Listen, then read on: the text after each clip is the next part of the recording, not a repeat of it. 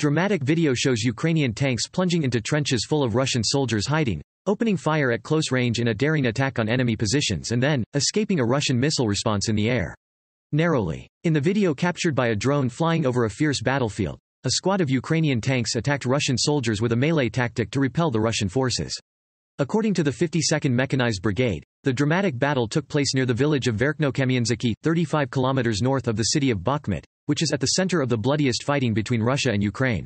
Ukraine's 52nd Mechanized Brigade said that the Ukrainian T-72 tank had penetrated the T position of the trench that Russian forces had previously captured. A Russian missile aimed at a Ukrainian tank as it approached a trench dug hidden in a tree line missed its target.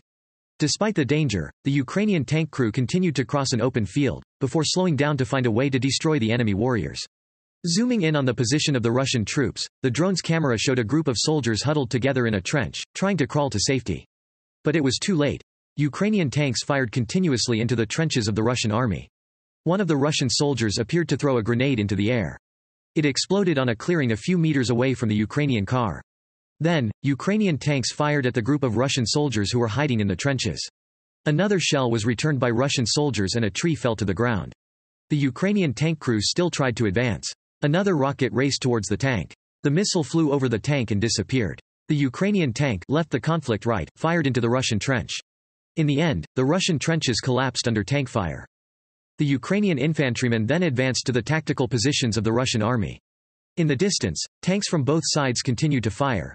In an update on the military situation, the General Staff of the Armed Forces of Ukraine on April 5 said that the Ukrainian defense troops attacked 11 clusters. Russian military personnel and three command posts in the past 24 hours. They also repelled more than 60 Russian attacks, destroying two BM-21 Grad multiple launch missile systems and an enemy electronic warfare station.